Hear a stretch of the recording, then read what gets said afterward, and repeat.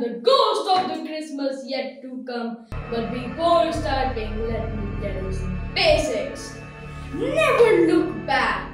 Today I will tell you a tale that is based on true events and then scripted into a famous novel, A Christmas Carol by Charles Dickens.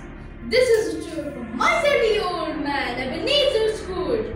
He receives a chilling visitation from the ghost of his dead partner, Jacob Marley. He informs Scrooge that three spirits will visit him during each of the next three nights.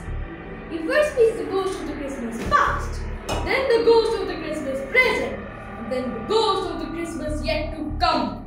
The ghost of the Christmas yet to come leads Scrooge to an unnamed man's recent death, which will not be and he is shocked to see himself as a dead man. He desperately implores the spirit to alter his fate I know what you must be thinking. Being in the world and taking decisions are not easy. I see dead people.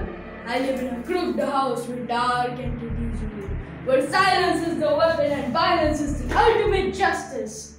Well, anyways, as I've already introduced myself, I'm the third Christmas spirit and I'm not astonished to be Scrooge. In fact, I'm at a lot of jerks like him. They just don't understand the real meaning of Christmas.